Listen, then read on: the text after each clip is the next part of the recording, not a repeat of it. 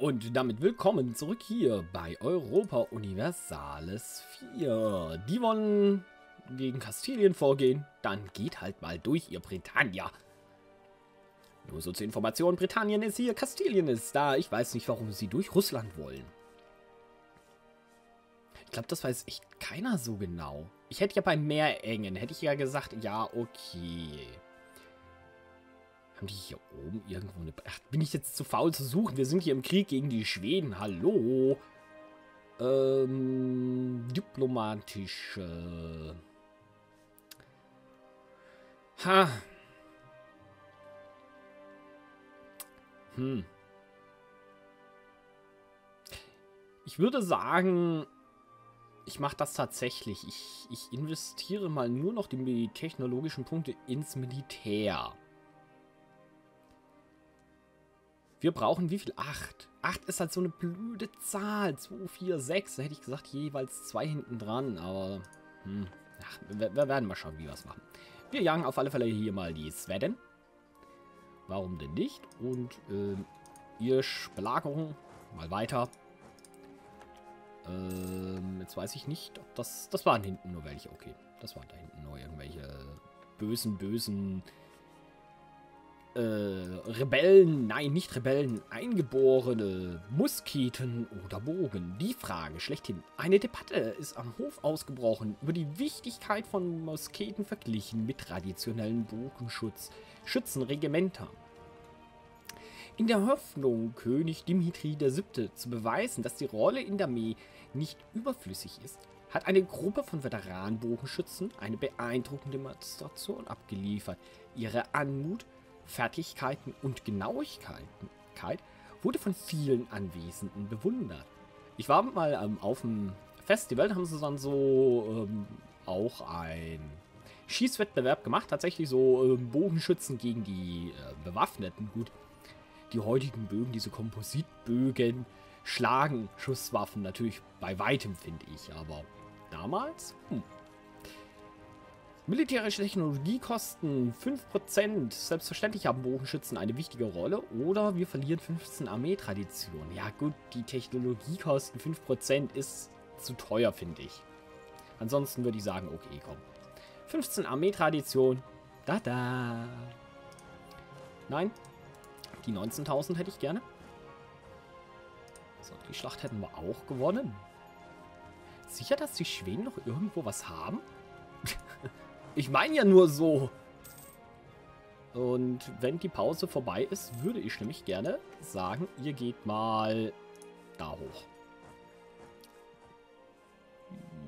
Ja, ansonsten sind sie nirgends. Das Land ist schon so groß, dass ich so weit raus scrollen muss. Aber selbst dann sehe ich ja die Einheiten nicht. Hm. Bisschen ungeschickt gelöst bei so einem großen Land. Äh, ja. B -b -b äh, lasst mich doch mal, Mensch. Ähm, erobert Brisink. Gehört nicht irgendwie zu meinen Dingern da. Nö, dann will ich es auch nicht. Ansonsten repariert, nö, nö, nö. Und das war das, nö. Will ich auch nicht. Tut mir leid. Nein. Und Belagerung abspalten, dahin. Der Krieg gegen die Schweden läuft einfach viel zu leicht. Wenn das so weitergeht, ich ganz, kann ich ganz Schweden blockieren. So, mit denen sind wir einfach mal so ein bisschen in Bewegung und stellen sie danach... Ja, danach lassen sie einfach in Stockholm stehen. Da haben wir den wenigsten Verschleiß. Und dann würde ich sagen... Ja gut, wir jagen hier mal diese Tausender-Truppen. Das bringt erstens ein bisschen Kriegspunktestand. Zweitens habe ich da gerade eine ganz üble Vermutung. Ja, sie haben auf Militärstufe 17 geupgradet. Wir verlieren hier zwar durch das Herummarschieren gerade Mannstärke bis zum geht nicht mehr, ich weiß. Aber mir bleibt nichts anderes übrig. Mir bleibt nichts anderes übrig. Wo haben die ihr ganzes Militär? Ich will es eigentlich gar nicht wissen. Es interessiert mich nicht wirklich. Auf der anderen Seite, Moment mal. Was geht denn hier unten ab? Ich habe gar nicht nachgeguckt, alles dabei ist. Schweden, Burgund, Lüneburg, Provence, Utrecht.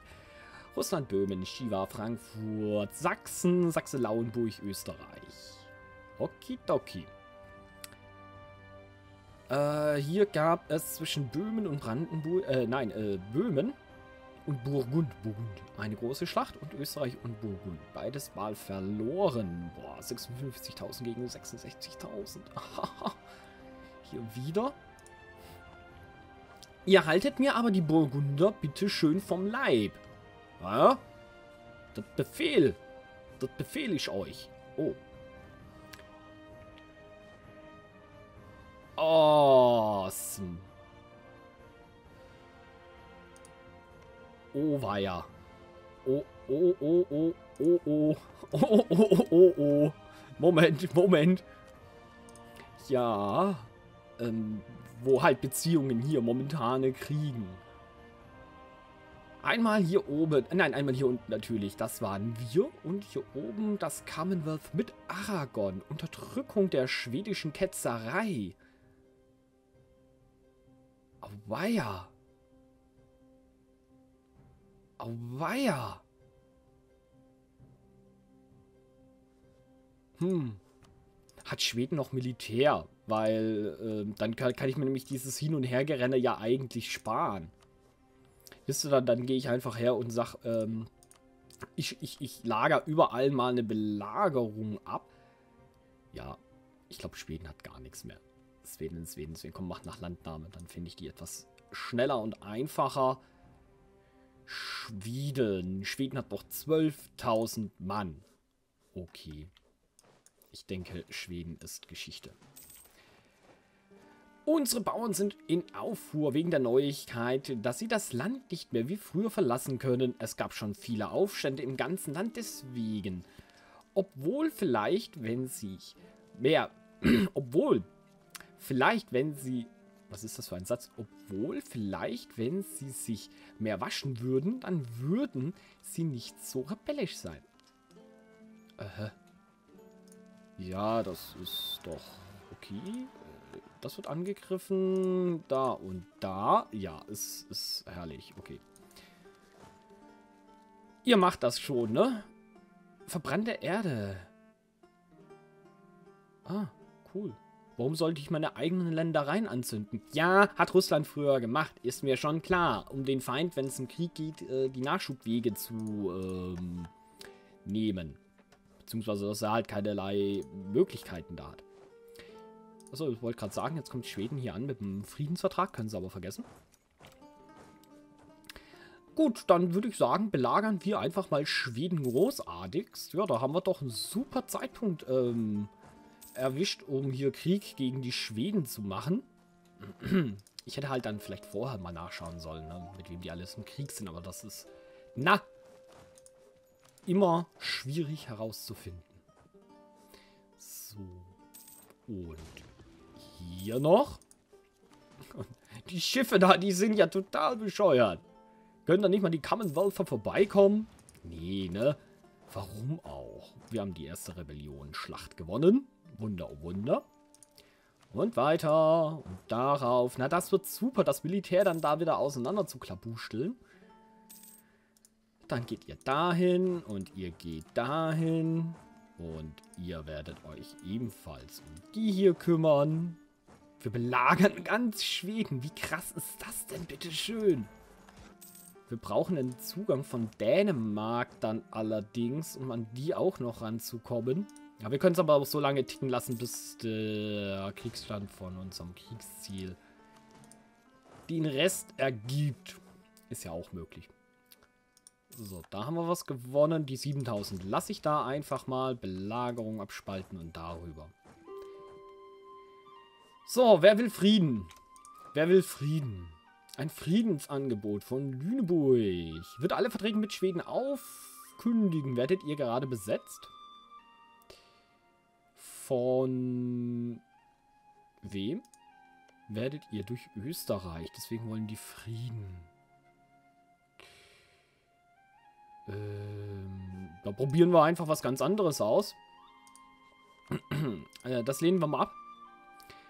Und zwar werdet ihr ich die Kernprovinzen zurückgeben. Nein, das auch nicht. Österreichischer Vasall geht nicht.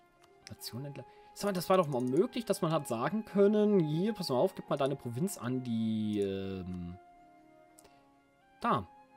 Nee. Das ist auch nicht das, was ich gesucht habe. Man konnte eigentlich mal einstellen, dass man sagt, okay, pass mal auf, du gibst deine ähm, Kolonie an die Belagerer ab. Aber, aber, anscheinend geht das nicht. Dann gesteht eine Niederlage ein und ähm, gibt Oldenburg ab. Macht ihr nicht. Niederlage eingestehen und Gold habt ihr auch keins. Forderung senden, was soll's. Die nahmen unser großartiges Angebot an. Vielleicht äh, übernehmen ja unsere Freunde hier den... Ach komm schon, echt jetzt? Oh, ihr Schweden wisst einfach nicht, wann ihr verloren habt, hä? Gut, ansonsten sieht es soweit ordentlich aus, auch wenn man hier 30 Jahre scrollen muss. Die Kolonie wird gebaut, die Kolonie wird gebaut. Unser äh, Diplomat ist zu Hause. Wir haben eine Schlacht gewonnen. Wir haben eine Belagerung gewonnen. Dänemark, gibt ihr uns Militärzugang? Bitte. Bitten um Militärzugang. Danke sehr. Und ab nach da oben. Ähm. Ja, jetzt haben wir es. Sehr schön. Eine weitere Belagerung ist irgendwo durch. Ähm, hier oben. Okay, wisst ihr was? Dann stellt euch halt meinetwegen hier hin. Eine weitere Belagerung ist durch. Ihr geht auch mal nach Hause. Was wollt ihr da drin auch so rumstehen? Aus Dänemark ist der Kerle nach Hause gekommen. Dort oben sind wir dabei. Hoffe ich doch sehr, dass wir das machen. Ja. Wer steht denn da mit uns drinnen? Die Manatuana. Ah ja. Ja, Commonwealth wird uns wohl, denke ich, keinen Militärzugang geben. Wir könnten denen das höchstens geben, aber das wäre langweilig. Okay. Das ist ein einfacher Krieg. Den habe ich mir, also ich habe da echt schon gedacht, puh, also puh, gegen Schweden, da wirst du aber lange... Sehe ich das richtig? Ich sehe das richtig. Ich, ich bin da nicht gelandet. Ja, sowas aber auch. Mensch, ja, zu viele diplomatische Beziehungen wegen Militärzugang. Und solange die Schiffe da unten nur stehen, kann mir das eigentlich auch recht egal sein. So einfach ist es. Wir können dann fast bald in die Militärtechnologie investieren. Wir könnten auch hier oben schon wieder rein. Hm. Hm. Hm. Das ist so die schwierige Frage. Ist jetzt ein Scherz, oder? Oh, nee, du. Nee, Mensch. Schweden. Ärgert mich mal nicht. Verliert Schlachten ordentlich und nicht, weil er sie nicht verlieren kann. Sagen wir, wie lange brauchen die hier? Ist ja zum Heulen. Gut. Dort unten ist eine Belagerung durch. Sehr schön. durch das Commonwealth. Ja, ich denke mal, das Commonwealth nimmt uns hier unten die Arbeit viel... Sag mal, was übersehe ich denn da alles? Das ist ja schlimm. So. Okay. Ähm, achso, okay, ja. Eine weitere Belagerung, die durch. Uiuiui, das war aber knapp. Wo? Da. Okay, wo wollen die hin? Da, wo sie stehen, können sie nicht stehen. Oh, ich glaube, ich lasse die Leute einfach da stehen, wo sie sind. Es macht auch eh keinen Sinn, da jetzt großartig noch zu checken, wer wie wo was steht, ne? Das wird aber sehr viel Unmut dann auslösen, wenn wir den Frieden mal ähm, einreichen. So, Eisen wird in einer Kolonie produziert. Weitere Belagerung durch, weitere Belagerung durch. Was macht denn eigentlich Stockholm? Stockholm ist doch fleißig am sich verteidigen. So, zusammenschließen. Einheit wird nicht zusammengefügt und dahin.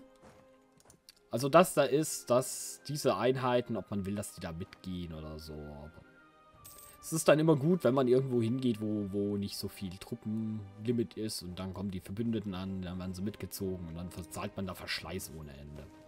Den meisten Verschleiß haben wir ja eh bekommen, weil zu viele Ländereien da irgendwo stehen.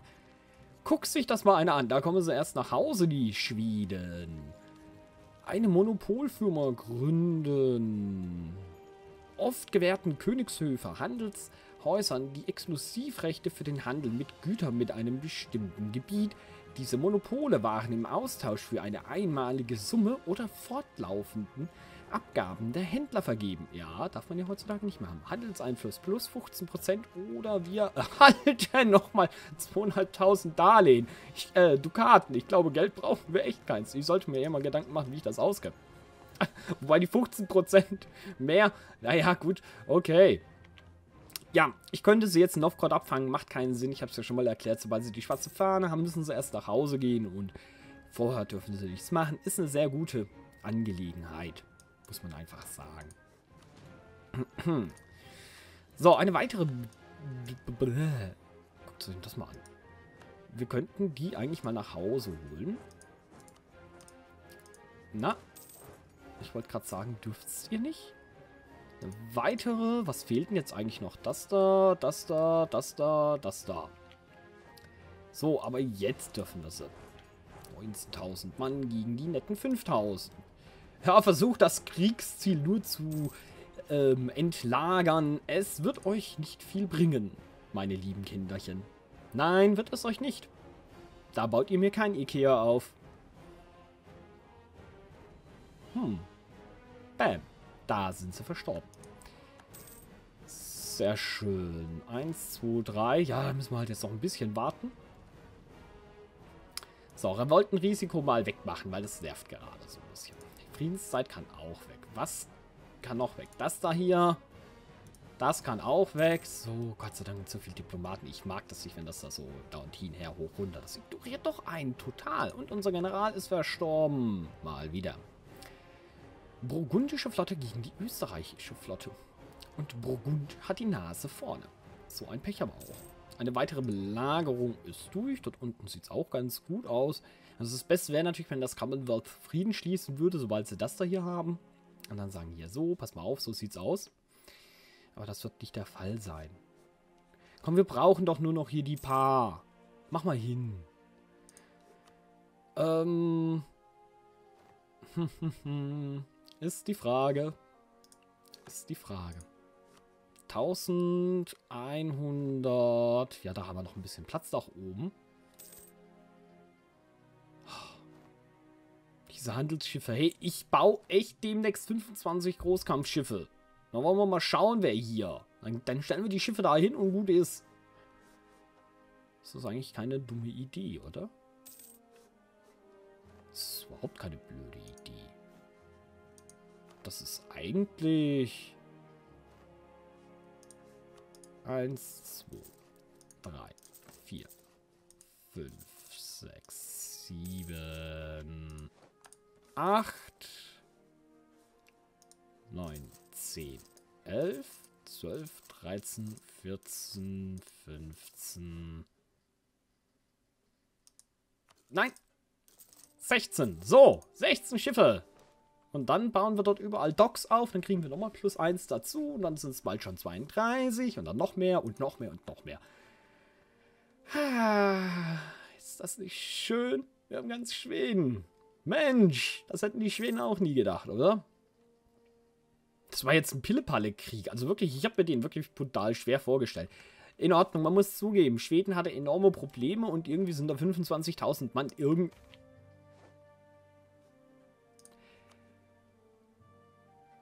Oh. Hm. Hm. Ähm... Ja, gut, auf der einen Seite haben wir natürlich den großen Sieg, auf der anderen Seite haben wir da voll die Niederlage. Äh, wisst ihr was? Das machen wir doch mal ganz einfach. So, kommt mal her. Hier. So. Alle mal da sammeln. Alle mal da sammeln. Das, das dann wir gar nicht, das lassen wir gar nicht erst zu. Wie können wir denn da laufen? Wir brauchen hier wahrscheinlich Zugang. Oder? Kommen wir durch? Kommen wir durch? Kommen wir rein theoretisch bis... Ja, super. Halt, nein. Oh, jetzt habe ich gerade gedacht, das Spiel will abstürzen. Sehr schön. Na, dann kommt mal her. Und dann gehen wir mal da runter und äh, sorgen dafür, dass Österreich mal so ein klein wenig wieder mehr zu Luft kommt gegen die Burgunder. Österreich hat allgemein gerade einige Probleme. Die Ottomanen und Tunesien. Oh nein. Oh nein. Hm. Hm. Ja. Will ich das überhaupt, ist die Frage.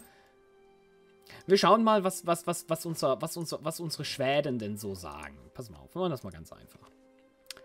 Burgund. Möchtest du Frieden haben? Ich glaube ja eher nicht. Frieden verhandeln. Ein Tribut angeben. Ein Tribut vorschlagen. Russland zahlt. Aha.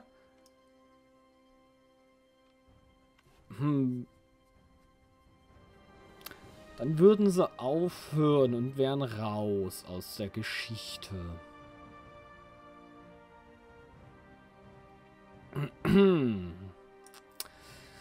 Weil Burgund drückt uns das hier unten natürlich gerade nieder. Auf der anderen Seite kann ja Franken... Entschuldigung. so, jetzt geht's wieder. Auf der anderen Seite kann ja Österreich selber sagen, hey, pass mal auf, hier, wir wollen Frieden haben. Wir gönnen uns aber mal den Spaß und kommen mal runter. Wir, wir, wir gönnen uns den Spaß. Definitiv. Und jagen mal diese burgundischen Truppen. Was nicht gerade wenig sind, aber... Oh, wird schon. Wenn wir da oben haben wir ja noch ein paar stehen, da hinten draußen. Ja, genau. Ihr dürft mal nach Hause gehen. So. Ja, so große Armee natürlich irgendwo runterzuschicken, ist natürlich immer blöde. Weil man natürlich sehr viel Verschleiß hat dabei. 72.000 kommen nach Ansbach. Ja. Wann kommt denn ihr da an? Am 25. Mai. Wir gehen mal eins nach oben. Ich glaube, die wollen nämlich zu uns. Ja. Das können wir so natürlich nicht machen. Wir gehen mal darüber. Ich glaube aber, die kriegen uns. Nein, kriegen sie nicht. Ha! Ihr Pfeifen! Wir belagern jetzt eure Städte. Bringt uns aber auch nicht so viel, ne?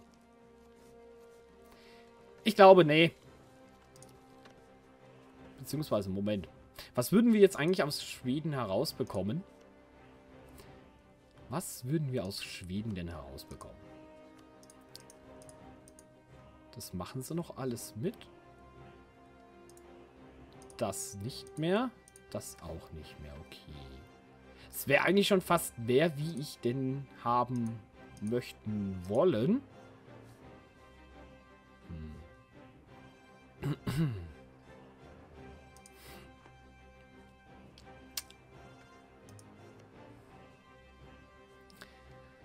Ha.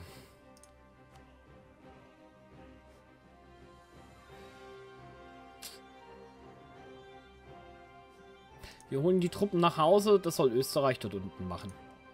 Ist mir doch egal. Wir holen sie nach Hause. Österreich soll denen dann meinetwegen den Frieden...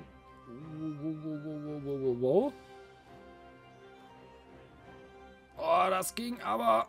Aber gerade so... Oh, ganz knapp. Halt, halt! Äh, wo landen?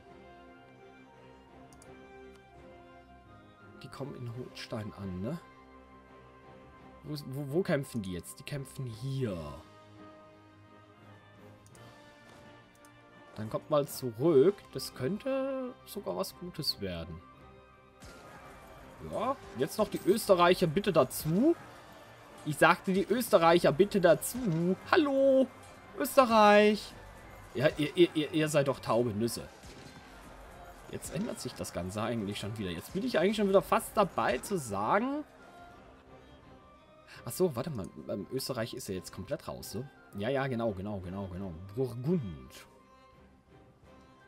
wollt ihr jetzt Frieden haben? Wisst ihr was? Das mit dem Frieden machen wir dann erst im nächsten Part. Denn zeitlich bin ich eh schon knapp dabei und dann kann man sicher im Falle... Guck mal an, wer da jetzt ankommt. Ich glaub's ja gar nicht. Und dann können wir immer noch entscheiden, wie wir denn vorangehen. Vor allem, hier unten haben sie auch schon Frieden geschossen. Okay, ich bedanke mich recht herzlich fürs Zuschauen und würde mich freuen, wenn ihr natürlich auch das nächste Mal wieder mit einschalten würdet. In diesem Sinne, Baba!